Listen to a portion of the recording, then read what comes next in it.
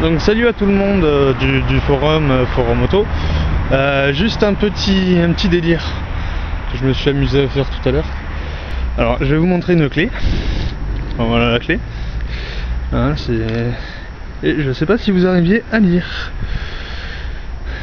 Alors si vous n'arrivez pas, c'est marqué fusion gris 50, euh, 65 94 RB11. Et en fait, regardez bien, la Fiesta, bah elle est là. Ouvert. Fermé. Et c'est...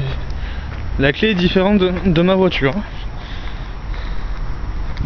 Donc, là pour vous montrer que ça marche vraiment. Clac. Voilà.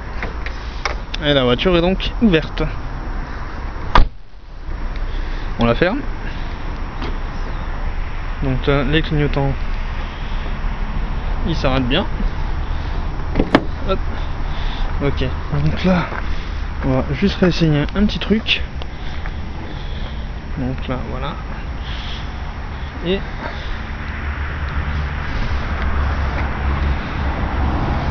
le coffre n'est pas. Le coffre ne s'ouvre pas. Bon.